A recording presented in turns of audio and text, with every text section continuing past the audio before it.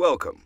In this short video, I'll introduce Dell's latest management addition to the Blade I.O. portfolio called Dell Blade I.O. Manager.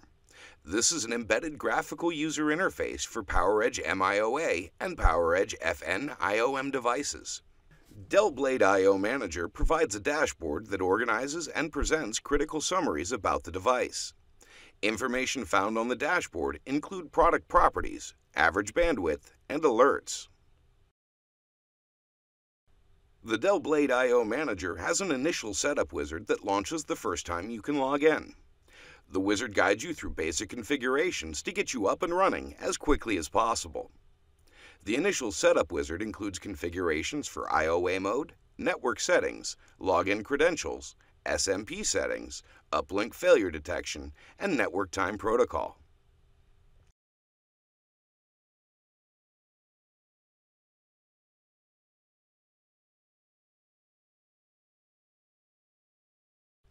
The last step of the wizard shows the summary of selected configuration settings. On the dashboard, you can view additional information about the device. Port details shows information about the internal and external ports, including their status and speed, administrative state, VLAN, and lag. If you configure your device to be in stack mode, the dashboard shows information about the overall summary of the stack, as well as details about each port in the stack. The stack summary page provides information about the master, standby, and member nodes, including details of the stacked links.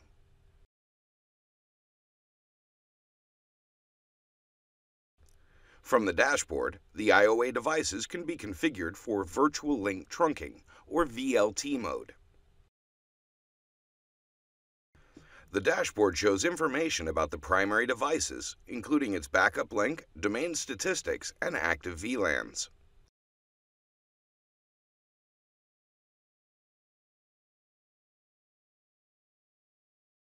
The Dell Blade I.O. Manager also includes various configurations, including assigning internal ports to a VLAN.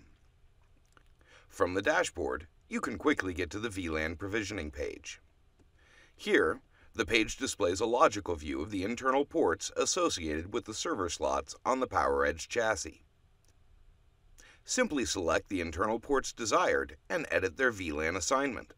For example, add internal ports to a VLAN and tag that VLAN. Once you're done configuring, the graphical user interface displays the output status. Another Dell Blade I.O. Manager feature is port configuration. To configure ports, select the desired ports, such as all ports, internal ports, external ports, or an individual port. Then configure properties such as the administrative state, port speed, and auto lag. Similar to the VLAN assignment page, the port configuration page displays the configuration results. In sum, the Dell Blade I.O. Manager offers provisioning and monitoring capabilities for the PowerEdge MIOA and the PowerEdge FN IOM devices. Unlike the complexities of CLI, the Dell Blade I.O. Manager graphical user interface saves time with an intuitive and user-friendly design.